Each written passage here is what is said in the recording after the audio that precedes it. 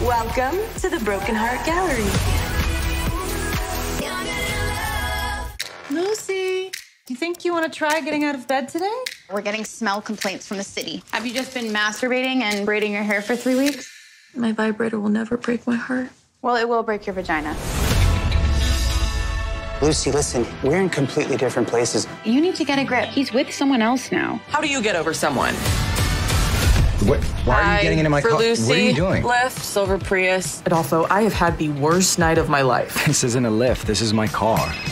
Hello? I'm sorry. No, I'll cancel. You're not Adolfo? Who are you? My name is Nick. Okay. Good night. Thanks.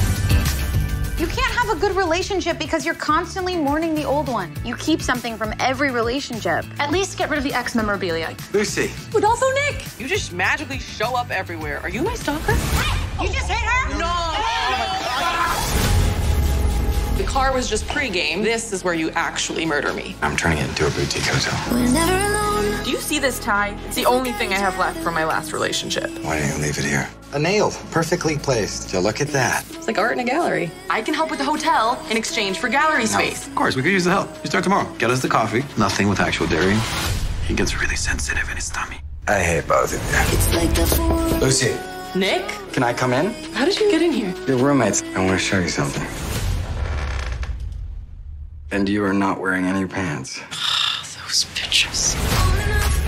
This map was here this morning? Yep. This is amazing. There are broken people out there like me. People who need to let go and move on. Is this the heartbreak thing? You're in the right place. Welcome. Are you ready to hand it over? It has an odor. Oh.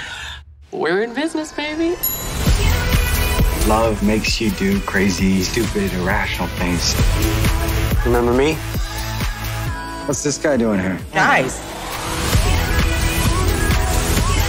Welcome to the Broken Heart Gallery.